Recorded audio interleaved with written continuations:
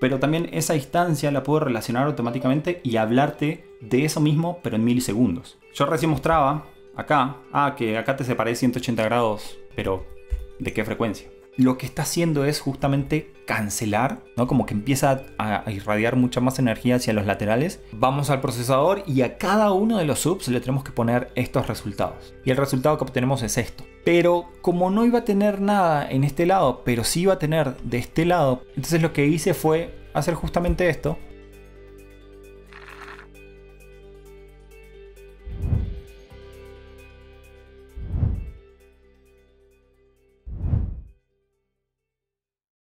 Bueno, eh, vamos a hablar de direccionamiento de bajas frecuencias, pero antes me voy a presentar un poquito ahí brevemente sobre mí. Eh, estoy trabajando como monitorista y técnico de RF eh, con el artista colombiano Manuel Turizo.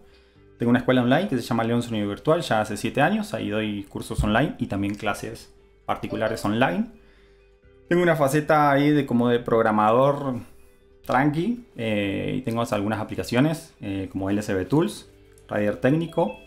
Y soy argentino de Río Negro viviendo en Colombia en este momento. Mis redes sociales se las voy a pasar al final, pero si me quieren etiquetar ahora como que estamos acá e invitar más gente, eh, me encuentran como León Sonido Virtual, tanto en Facebook como en Instagram. Eh, bueno, y mi canal de YouTube también es León Sonido Virtual. Eh, esta es una fotito de la aplicación que es gratuita para hacer riders técnicos. Si les interesa la pueden utilizar, la encuentran ahí en, el, en la URL que sale ahí arriba, ridertécnico-lsb.com. Es gratuita. Entonces pueden ahí hacer como sus plots. Ese es uno que hice hace un rato. Y arranquemos ya, de una vez. Eh, para llegar a la parte como de dirección, o sea, lo que me interesa que eh, se lleven de esta charla es un poco cómo pueden ustedes manipular las bajas frecuencias eh, teniendo como los conceptos necesarios para empezar a pensar, ¿no? O sea, es como un tema muy amplio que no lo voy a poder abarcar todo en una hora pero sí quiero como que darle las bases y las cosas que, vayan con una idea por dónde atacar los temas y, cómo encararlos, ¿no? Entonces primero vamos a pasar hablando un poquito de filtro de peine, luego vamos a hablar de fase, luego vamos a hablar de la doble fuente y por último vamos a hablar como de dirección, un poquito más ya eh, avanzado si se quiere. Eh, voy a dar por hecho de que ya saben cosas básicas de audio como longitud de onda o velocidad del sonido, etcétera. Entonces, toda esa parte van a ver que no, no voy a estar explicando nada, sino que vamos a entrar directamente en estos cuatro puntos que están acá seleccionados. Primero que nada, el filtro de peine eh, es un, un, filtro que, justamente parece un peine. Acá tengo una fotito que parece como un peine, por eso viene de ahí el nombre de filtro de peine. También lo pueden encontrar como filter en inglés. Eh, y se da cuando tenemos dos fuentes reproduciendo el mismo rango de frecuencias eh, a un mismo nivel y que están llegando a distintos tiempos, ¿no? Sea, cuando entremos en fase vamos a hablar del tema de los tiempos, pero en principio esto se da cuando tenemos dos fuentes o más reproduciendo el mismo rango de frecuencias. En este punto, por ejemplo, eh, lo que tenemos en el medio, bueno, es la gráfica de abajo, la de magnitud, es eh, cómo se vería el filtro de peine, ese es un filtro de peine electrónico. Y tenemos como dos line arrays y uno está más grande que el otro, entonces quiere decir que está más cerca que el otro. Y en el punto del micrófono, eh, en este punto, no sé si ven mi mouse. Dígame, sí, perfecto. Eh, en este punto del, micrófono, donde teóricamente está en el medio de los dos sistemas, como uno llega antes que el otro, vamos a tener un filtro de pain. Bien. pero no solo se da cuando tenemos este fenómeno de que uno está más adelante que el otro, sino que yo puedo mover mi, micrófono de medición y ponerlo en otro punto. Y esto también me va a generar un filtro de peine porque una fuente va a estar llegando antes que la otra. Entonces, como para aclarar que no es solamente que uno esté más atrás que el otro, sino que es también donde pongamos el micrófono para hacer una medición.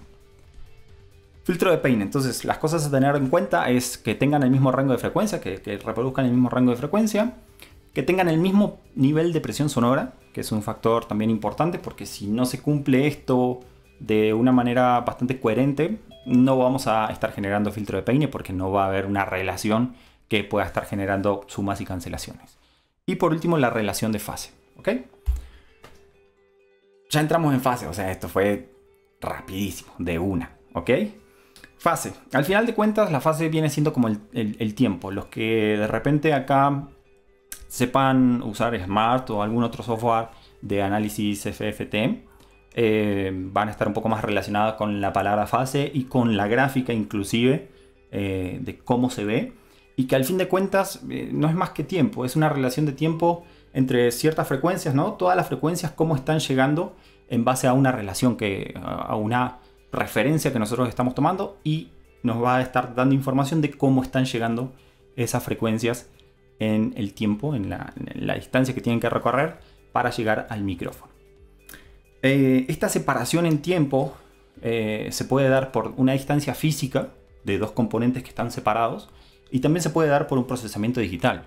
¿no? Por ejemplo, dos, dos parlantes autoamplificados que los pongas juntos y que uno diría, ok, me van a llegar al mismo tiempo, de repente tienen procesamientos distintos. Usan filtros distintos y por ende hacer todo el proceso interno de la caja a cada una de las marcas le lleva dos tiempos distintos, con lo cual aunque físicamente estén iguales, van a llegar a un tiempo distinto eh, porque hay una latencia digital. Entonces, eh, todo esto de sumas y cancelaciones que vamos a ir viendo se puede dar no solamente por una distancia física, sino que también por un procesamiento digital. A tener en cuenta, la velocidad del sonido que voy a estar usando para todos los cálculos va a ser de 343.4 metros sobre segundos en el aire. Bien. Ok. Eh, vamos a entrar como que ya a hablar de fase puntualmente, de grados, pero vamos a relacionarlo con la frecuencia. En este caso voy a tomar 80 Hz como frecuencia eh, de referencia. Y entre paréntesis está 360 grados. ¿Por qué? Porque 80 Hz para que reproduzca todo su ciclo completo, que es lo que se ve en rojo ahí abajo, eh, tarda un tiempo de 12.5 milisegundos, por ejemplo, su periodo. Y en distancia, eso mismo se traduce a 4.29 metros. Y en grados, estos dos valores se está traduciendo a 360 grados. Entonces, yo puedo hablar de una longitud de 80 Hz de, un determinado, de una determinada distancia, pero también esa distancia la puedo relacionar automáticamente y hablarte de eso mismo, pero en milisegundos. Y también te puedo hablar de eso mismo, pero en grados, que es lo que quiero que empecemos a tomar en cuenta, ¿no? Porque después cuando hablemos de fase, vamos a estar hablando de grados siempre.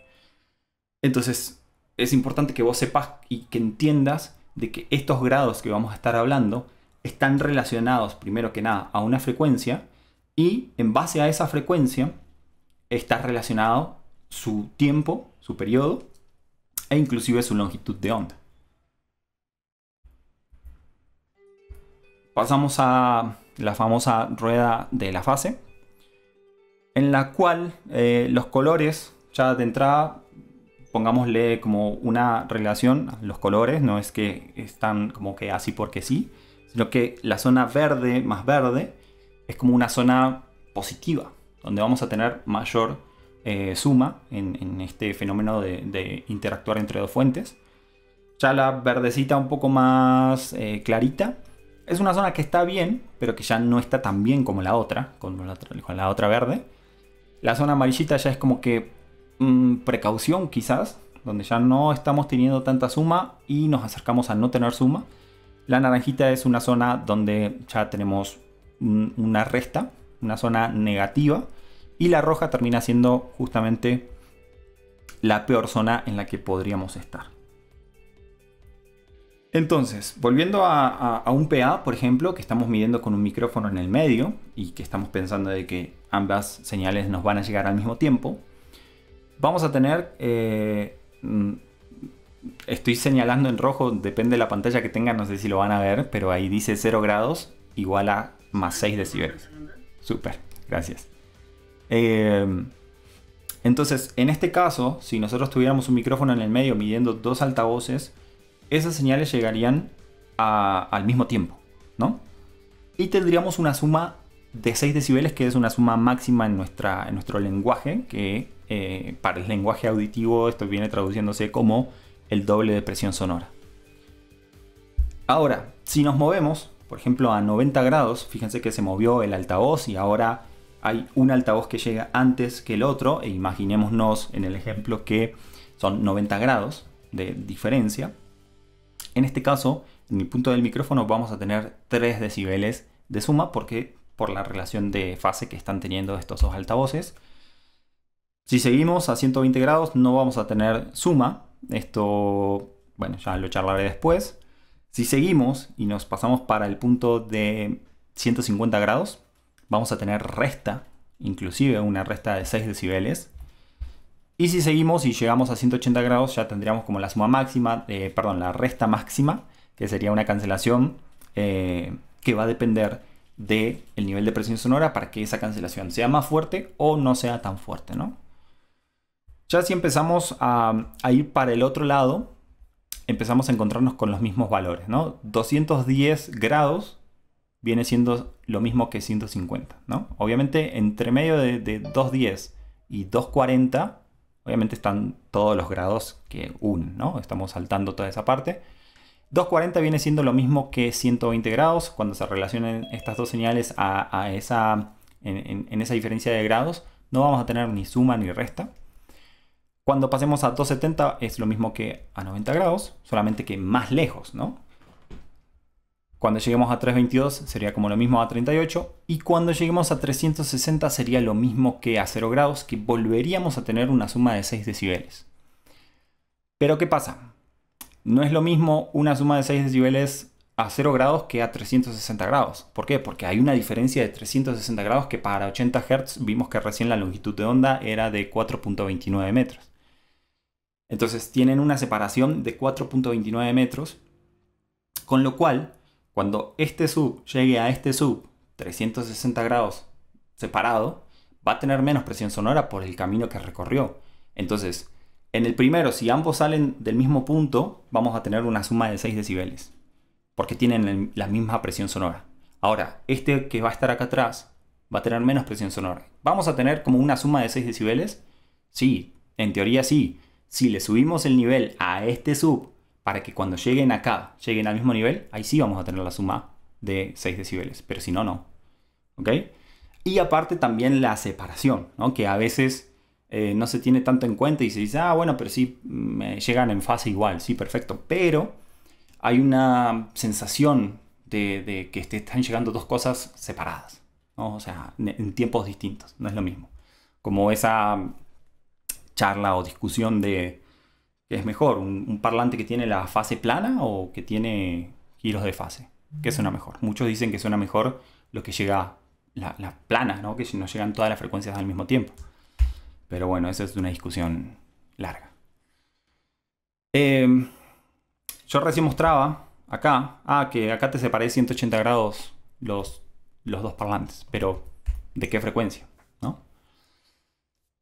80 Hz, por ejemplo, 90 grados para 80 Hz son 1.08 metros. Ah, perdón, paréntesis. Eh, a la derecha estamos viendo mi aplicación LSB Tools para celular, que me estoy apoyando como de los, de los cálculos que estoy sacándote ahí. Eh, de hecho, me hice una sección que la vamos a ver un poquito más adelante, eh, justamente porque en esta clase estaba, cuando la estaba planeando, justamente en este punto decía, bueno, listo, 80 Hz, 90 grados, ¿cuánto es? Ah, 1.07 metros. Pero ¿y 81 Hz? ¿Cuánto, 90 grados, a cuánto equivale en metros? La, distancia cambia porque ya es otra frecuencia. Entonces, al tener que hacer esos cálculos, dije, ah, me voy a hacer una sección acá donde de una ponga 90 grados para 85 Hz y me diga cuánto es en metros. Ya después la, uso más adelante. Entonces, para 80 Hz, 1.07 metros equivale a 90 grados.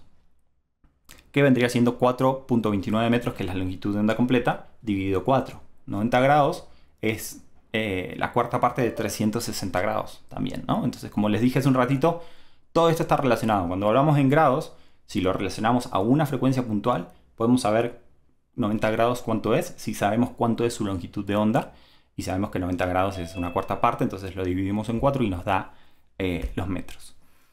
Para 85 Hz, 90 grados equivale a otra distancia totalmente distinta, es 1.01 metros. ¿no? Y para 70 Hz, lo mismo, son 1.23 metros, los mismos 90 grados. Entonces, acá es donde sucede el filtro de peine. ¿Por qué? Porque nosotros cuando separamos dos parlantes, ya sea físicamente o digitalmente, esa separación es una única separación. Ah, que lo separé de 1.23 metros. Listo, perfecto. Entonces, para 70 Hz equivale a 90 grados. Pero para 80 no. Para 85 tampoco.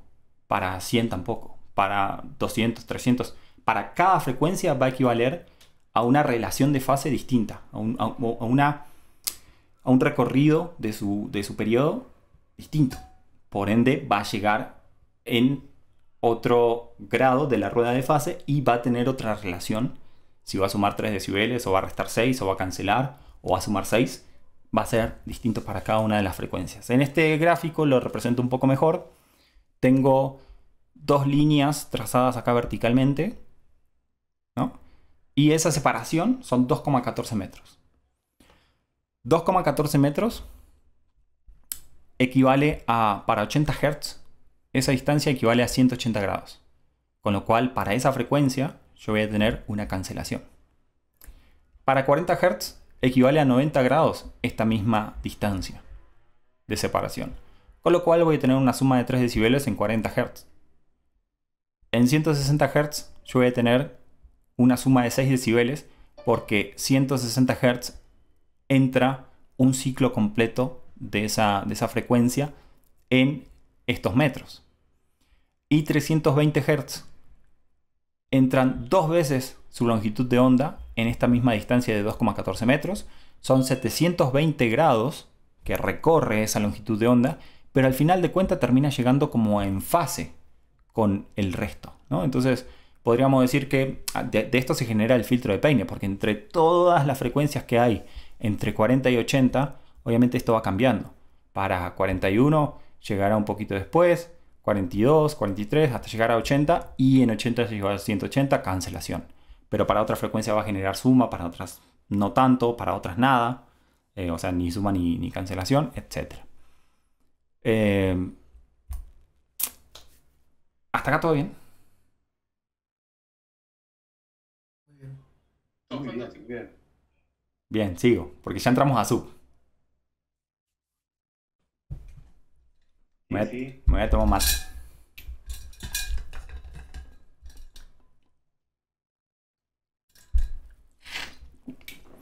Bien. Eh, yo tengo una pregunta. Por... Háblame. ¿Cuál es la distancia? O sea, ¿cuál es la distancia correcta de separar un chute de otro? No hay distancia correcta. Es, depende de lo que quieras lograr. ¿Qué quieres hacer? ¿Cancelar? ¿Quieres sumar? ¿Quieres eh, generar cierto lóbulo para atacar ciertas frecuencias en una zona y otras frecuencias en otra zona no. Justamente de, eso se trata como esta clase, ¿no? O sea, ver cómo, cómo funciona todo este sistema para que después vos decidas qué querés hacer. Porque acá yo te dije, mira, ah, si separás 2,14 metros en 80 Hz vas a estar cancelando.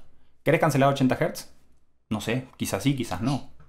Entonces, si no querés cancelar 80 Hz, no lo separes 2,14 metros. Porque en un punto va a cancelar, pero en otro punto va a sumar. Pero ya lo iremos viendo un poquito más adelante. Ah, vale, vale. Gracias, hecho. Eh, listo, subs. Cuando hablamos de subs, lo primero que quiero hacer énfasis es que vamos a estrechar nuestro rango de frecuencias. Normalmente pueden llegar a trabajar desde 30 a 100 Hz, más o menos, como para dar un promedio, aunque varía según si es de 21, de 15, de 18. Van a variar, pero más o menos vamos a hablar, para el ejemplo, de que un sub va a estar reproduciendo entre 30 y 100 Hz. ¿Bien? Y esas longitudes de onda son más grandes. Entonces, también otro punto a tener en cuenta es que va a irradiar prácticamente para todos sus lados, como omnidireccional. Acá estamos viendo 80 Hz y no es completamente omnidireccional porque obviamente por la construcción de la caja, si tenés una tapa atrás y a los laterales, obviamente es un pequeño obstáculo, aunque sea pequeño, eh, va a impedir que tanta energía vaya hacia ese lado y vaya más para el otro lado, ¿no? Entonces, No es completamente omnidireccional, para otras frecuencias más bajas sí lo va a hacer, porque ese, obstáculo del, gabinete de la madera no va a representar tanto un obstáculo, pero en general se puede decir que son omnidireccionales casi eh, siempre. Entonces, acá tengo la representación de 40 Hz, 63 y 80. Vamos a, reproducir todo este rango de frecuencias y fíjense que tienen una cierta diferencia, ¿no? Este es más omnidireccional, 40 Hz, mientras que 80 Hz mm, ya empieza como que tirar un poquito más para adelante, no tanto para atrás, entonces ya no es tan omnidireccional. Vamos a hablar un poco de la doble fuente, no voy a entrar mucho a detalles, pero si quieren estudiarlo lo pueden encontrar en este libro de Harry Olson, donde habla de la doble fuente y, de un millón de cosas más de audio. Básicamente este es la, el, papá de, de, todo lo que usamos hoy en día. Lo van a encontrar eh, ahí muchas de las cosas. ¿no? Entonces les recomiendo que si les interesa mucho más profundizar en todos estos temas, eh, puedan echarle una leída a este libro de Harry Olson. Eh, Básicamente cuando tenemos dos fuentes, nosotros podemos predecir lo que va a estar pasando en base a la rueda de fase que ya entendimos y que ya sabemos lo que va a pasar si lo separamos X o Y distancia. En este caso yo tengo dos subs, uno arriba del otro, ¿no? reproduciendo 80 Hz. Y lo que voy a ganar es más presión sonora, el doble. Pero, bueno, no lo voy a mencionar eso porque no quiero confundir. Ya lo vamos a hablar más adelante. Ahí está uno arriba del otro y horizontalmente tenemos prácticamente lo mismo, solamente que con más presión sonora. Eh, pongo otro sub por ahí y fíjense que ya la, la, representación de lo que está pasando es otra cosa. Estamos viendo solamente 80 Hz y en zonas tenemos sumas y en otras zonas tenemos cancelaciones. ¿Por qué? Por la distancia que estamos usando. Eh, dos subs reproduciendo 80 Hz, pero separados 90 grados. 90 grados dijimos que... Voy a correr esto. 90 grados eh, en metros para 80 Hz. ¿no? Pongo 80 Hz, 90 grados y me dice acá eh, en metros cuánto es. Y en milisegundos también. Pero en este caso me interesan los metros. 1.07 metros es lo que están separado el eje de este sub frente al otro eje de este sub. Fíjense cómo ya pasamos de tener dos subs juntos haciendo esto a tener algo que ya estamos como que direccionando el sub hacia el frente. ¿no? Ya no tenemos ese patrón casi omnidireccional que teníamos recién. Si nos movemos a 150 grados, es decir, que separé este sub, perdón, este sub de este otro sub lo separé 1.79 metros, ya el patrón cambia mucho más. Porque dijimos que si dos fuentes se relacionan a 150 grados, vamos a tener una pérdida de 6 decibeles. Mientras que si se relacionan a 90 grados, vamos a tener una suma de 3 decibeles. ¿no? Entonces, ¿qué está pasando acá en 90 grados? Que hacia los laterales, cuando este, si pensamos en esta zona de acá arriba, este subsale y este sub llega después 90 grados. entonces se están relacionando esos 80 Hz hacia este, hacia este lado con una suma de 3 decibeles, que no está mal. Pero hacia el frente tenemos 6 decibeles. Por eso es que el patrón de, este, de, de esta configuración termina siendo como un poco más direccional hacia el frente y no tanto hacia los laterales. Si lo separamos 150 grados, yo en esta zona ya estoy cancelando 6 decibeles en 80 Hz.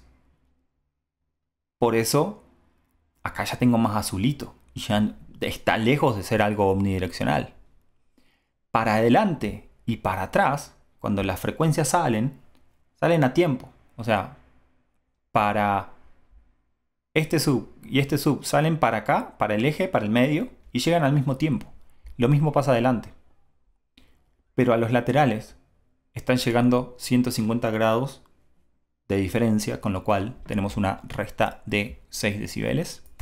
Y si lo separo 180 grados, que son 2,15 metros, en este caso, 2,15 del eje al otro eje, tenemos una mayor cancelación y es como que la cancelación máxima que vamos a poder tener. Eh, acá no se cumple porque obviamente no tienen el mismo nivel de presión sonora porque no pueden llegar al mismo nivel en ambos lados, ¿no? Si le subo eh, la presión sonora a este sub de acá para que en este punto me lleguen al mismo nivel, voy a tener acá una mejor cancelación, pero acá una peor cancelación porque al final este sub ahora para acá va a tener más presión sonora que el de atrás. Entonces no se puede hacer como que eso, en este caso que estamos viéndolo simétricamente, ¿no? Pero sí tenemos una cancelación muy importante, o sea, prácticamente acá no hay subs, no hay 80 Hz, perdón, no hay 80 Hz, pero posiblemente sí haya 40.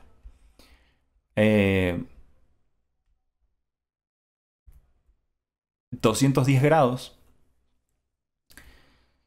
Habíamos dicho que es lo mismo que 150, ¿no? En la rueda de fase era lo mismo solamente que más lejos.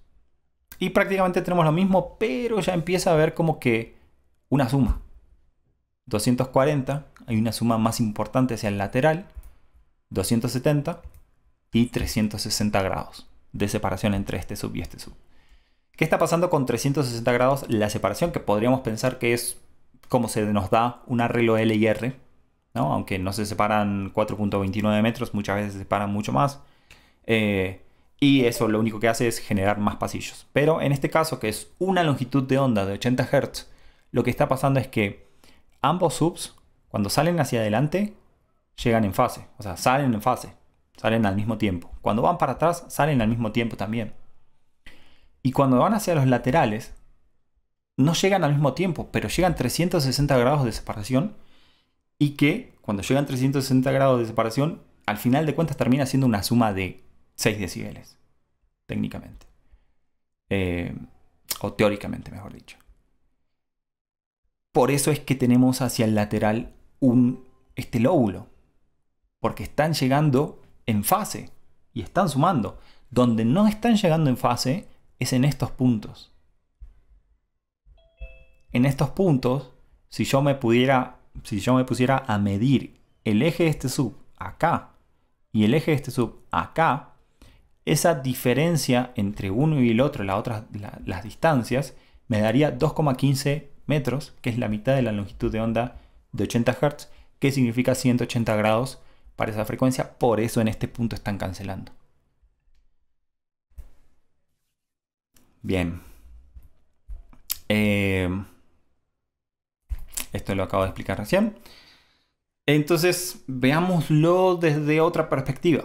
¿no? Acá tenemos el sub. O sea, recién lo estábamos viendo desde planta, los subs, ¿no? Y el plano del escenario y de la gente por acá y todo bien, Y pensemos que la gente está por acá. Ahora ya en este punto lo vamos a ver como de, de del lateral, ¿no? En este caso estamos separando los subs, lo estamos viendo como de frente al escenario, ¿no? Este es el escenario, está acá atrás y tenemos el sub mirándonos a nosotros y este sub mirándonos a nosotros. Entonces, en este caso tengo 1.07 metros de separación entre estos dos y voy a explicar lo mismo pero con esta gráfica de las longitudes de ondas para que se vea un poco mejor eh, lo que acabo de explicar.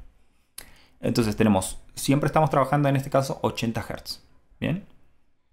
1.07 metros equivale a 90 grados. Entonces vemos cómo la longitud de onda cuando sale hace todo este recorrido y llega a este punto que son 90 grados. Cuando llega a este punto es el punto en el que el otro sub va a salir. Y cuando sale, lo que está pasando es que estos dos en este punto están saliendo al mismo tiempo con una relación de fase de 90 grados. Esa relación de fase de 90 grados nos va a dar una suma de 3 decibeles hacia el lateral. Recuerden que lo estamos viendo de frente, entonces esto que estamos viendo acá es el lateral eh, derecho, si lo vemos de frente al escenario. Si lo separamos 120 grados, no tenemos suma lateral, no va a haber suma lateral y vamos a tener suma frontal. Entonces ya empieza a direccionarse el lóbulo. Si lo vemos nuevamente con la longitud de onda, ahora la separación es mayor. Y este sub, para llegar al otro sub, tiene que recorrer todo este camino de 1.43 metros, que se traduce para 80 Hz a 120 grados. Y en este punto llegan juntos y salen juntos, pero salen juntos con una diferencia de tiempo en grados que equivale a que no vas a tener ni suma ni cancelación en esa frecuencia para, esta zona. Seguimos a 180 grados y vamos a tener cancelación lateral y suma de 6 dB frontal. Entonces vemos este lóbulo que, que lo tenemos hacia el frente y hacia atrás y hacia los laterales no tenemos nada. La separación es de 2,15 metros, equivale a 180 grados para 80 Hz. Y fíjense que la longitud de onda hace toda la media longitud de onda de 80 Hz, 2,5 metros. Y en este punto sale el otro sub, pero sale con polaridad positiva, podríamos decirle. aunque no, vendría siendo nada que ver la, la polaridad. Y este sigue su camino, pero 180 grados de diferencia. Por esa razón es que tenemos una cancelación en esa frecuencia. Miremos acá cómo tenemos 80 Hz, 63 y 40. ¿Por qué? Porque 2,15 metros, que es la separación que yo les estoy dando a estos subs, equivale a 180 grados para 80 Hz. Entonces cancelo en los laterales. Pero para 63 Hz equivale a 142 grados, o sea que equivale a aproximadamente una resta de 6 decibeles, que era 150 grados, perdón. Y esta misma distancia de separación entre los subs equivale a 90 grados nada más para 40 Hz. Y 90 grados era una suma de 3 decibeles. ¿no? Entonces, no podemos atacar todas las frecuencias de, de la misma manera para que eh, estén todas cancelando hacia el mismo lado. Podemos buscar un punto medio, que el punto medio aproximadamente de 30 a 100 Hz podría ser como 63 Hz y podríamos trabajar como que la longitud de 63 Hz como para que tanto para arriba como para abajo estemos más cerca y tengamos un promedio un poco mejor de lo que va a estar pasando. Eh, acá lo que les decía recién cuando estos dos subs salen hacia el frente, la distancia recorrida de estas líneas rojas es exactamente la misma. Por eso llegan a fase, en, fase. Cuando mido en este punto, por ejemplo, que ya no tengo tanta presión sonora, fíjense que ya el amarillito va perdiendo fuerza, es porque este tiene que recorrer más distancia que este para llegar a ese punto. Y como vimos que son fuentes casi omnidireccionales, es que 80 Hz está saliendo para todos lados y se están relacionando en distintos eh, momentos de la, de la rueda de fase en cada uno de los puntos. En este punto se están relacionando a una diferencia, pero que no es tan grande y no es tan significativa como para cancelar. Por ahí está en 90 grados, 100, por ahí, donde no representa una, eh, una zona negativa. Si nos vamos a este punto, vamos a ver que este sub recorre cierta distancia y este sub recorre otra cierta distancia a un mismo punto que viene siendo como este punto de acá. Cuando sacas la diferencia entre esas dos líneas, termina dándote lo que significa media longitud de onda para esa frecuencia. Por eso es la cancelación en ese punto. Y a los laterales, lo que habíamos visto hace un momento, llegan separados, pero llegan al mismo tiempo. Llegan 360 grados de separación, pero que eso termina siendo igualmente una suma para esa frecuencia. Em, vamos a entrar como en el tema de línea recta.